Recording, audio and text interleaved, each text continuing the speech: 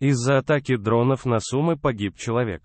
Из-за атаки российских оккупантов на Сумы с помощью беспилотников 3 июля погиб один человек, об этом сообщает РБК Украина со ссылкой на руководителя Офиса президента Андрея Ермака. В результате российского удара БПЛА в пятиэтажном жилом доме погиб один человек, сообщил он, обновлено, заместитель городского главы Сум Станислав Поляков также сообщил, Суспельному, что в результате вражеской атаки есть травмированные.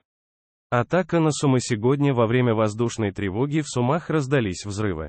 Мэр города Александр Лысенко сообщил, что сработало ПВО, позже стало известно, что из-за атаки дронов в центре Сум был поврежден жилой дом, в воздушных силах отметили, что оккупанты могли атаковать город с помощью шахедов. Срочные и важные сообщения о войне России против Украины читайте на канале РБК Украина в Телеграм.